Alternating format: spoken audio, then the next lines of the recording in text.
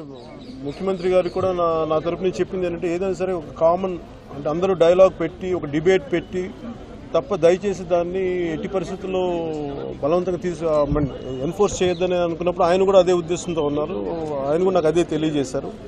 అంతేగాని ముఖ్యంగా ట్రైబల్ తీసే అంటే వాళ్ళ ట్రైబల్ వాళ్ళు వాళ్ళ వాళ్ళ జీవితాలకు దెబ్బతినకుండా తినకుండా దాన్ని వాళ్ళని ఏ ఏ విధంగా సార్ దాటేసి ఐ మీన్ ఎట్లా ఉందంటే డిస్ప్లేస్మెంట్ గురి కాకుండా ఎలా చేయాలని ఆలోచిస్తున్నాం. అది కూడా మేమేం చెయ్యం. వాళ్ళ అనుమతి తీసుకొని వాళ్ళని డైలాగ్ అండ్ డిబేట్లో పెట్టి యాక్సెప్ట్ అయితేనే ముందుకెళ్తాం లేదంటే లేదని చెప్పేసి ఆయన కూడా అదే ఉద్దేశంతో ఉన్నారు.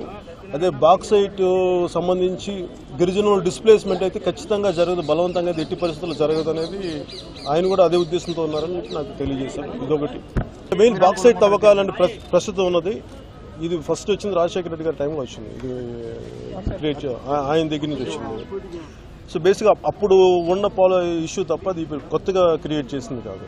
సో దాని ఆయన కూడా ఏ ఉద్దేశంలో ఉన్నారంటే గిరిజనులకు ఎట్టి పరిస్థితులు ఇబ్బందులు కలగకుండా డిస్ప్లేస్మెంట్ జరిగే చర్యలు ఏమి తీసుకో వాళ్ళకు కూడా అంటే బేసిక్ వాళ్ళ హెల్త్ కానీ ఇవన్నీ పరిస్థితులు అన్నీ ఉన్నాయి. అవన్నీ వాళ్ళకి ఆమోదయోగ్యం అయితేనే చేస్తాం ముందుకెళ్తాం.